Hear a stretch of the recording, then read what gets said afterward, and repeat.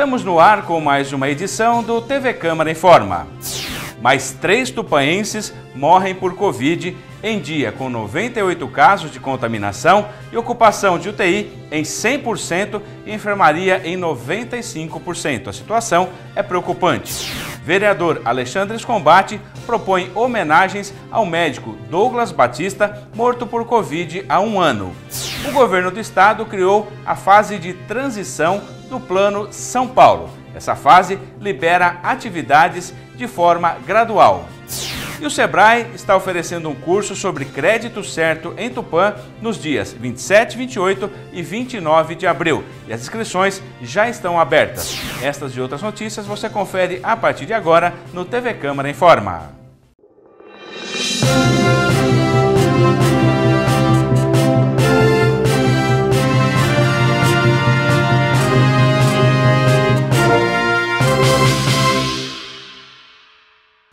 Mais três tupaenses morreram por Covid em um dia em que foram registrados 98 casos de contaminação e a ocupação da UTI continua em 100% e agora a enfermaria em 95%. A situação é preocupante. Glaucio Tolentino. A Prefeitura de Tupã confirmou mais três mortes por coronavírus na cidade.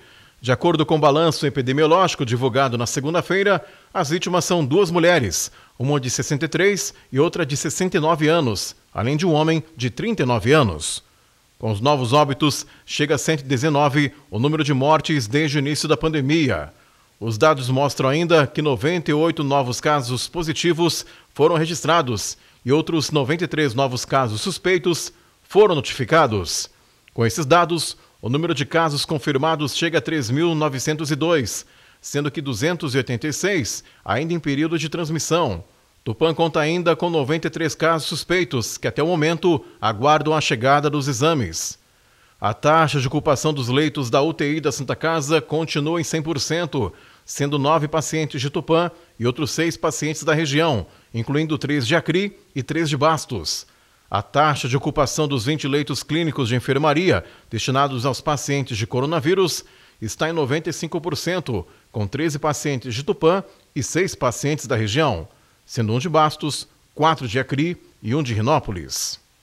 Bom, nós estamos no meio de uma pandemia, os números estão altos em nossa cidade, três mortes registradas no mesmo dia, mais de 90 pessoas contaminadas também em um dia. Temos 296 pessoas na chamada fase de transmissão, ou seja, Cada uma dessas pessoas, se não ficar em casa, não seguir o protocolo, pode contaminar outras, pode chegar a contaminar até 10 pessoas, por isso a transmissão não para em nossa cidade.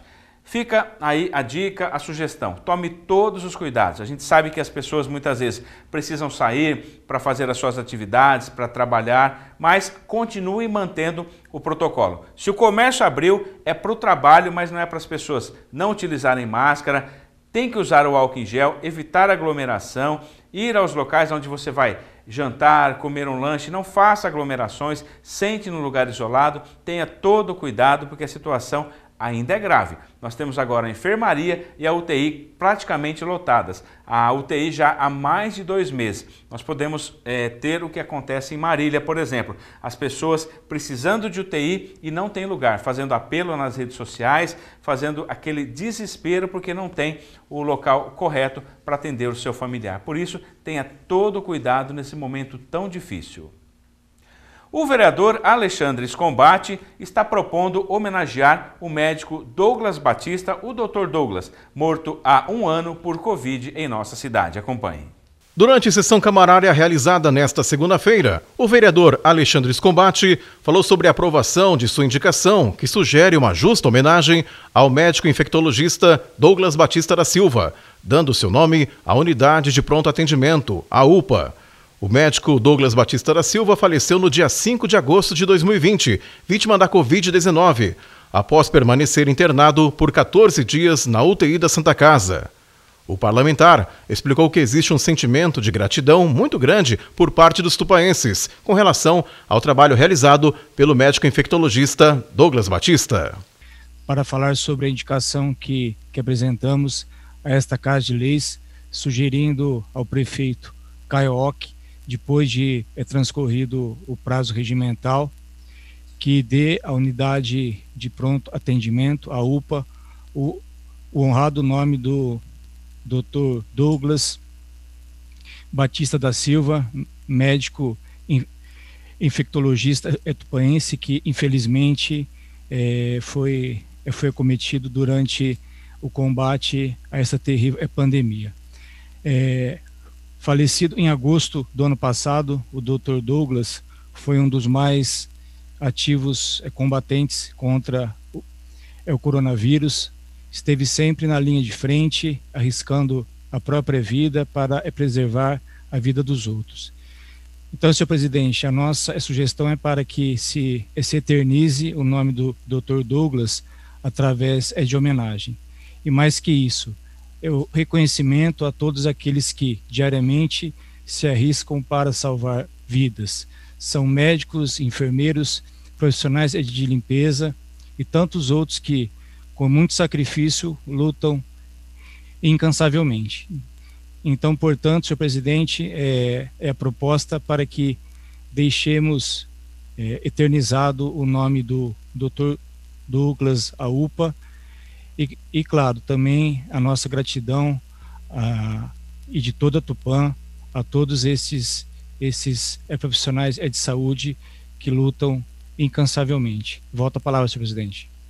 Bom, é uma justa, merecida homenagem. Todos nós queríamos, na verdade, que o Dr. Douglas estivesse aqui na linha de frente, trabalhando, ajudando a cuidar das pessoas.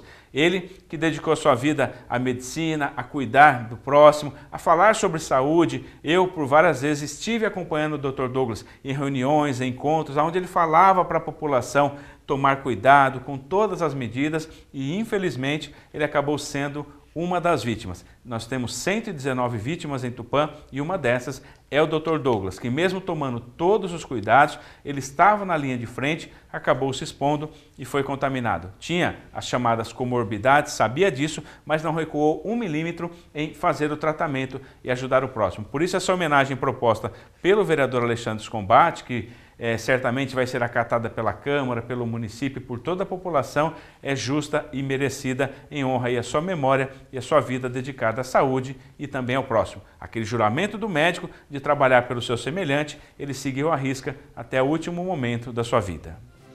Nós vamos ver depois do intervalo. O governo do estado criou a fase de transição no Plano São Paulo. Essa fase libera atividades de forma gradual. Nós vamos falar sobre isso. E o Sebrae está oferecendo um curso sobre crédito certo em Tupã, de 27 a 29 de abril. E as inscrições já estão abertas. Nós voltamos já com essas informações e ainda a previsão do tempo.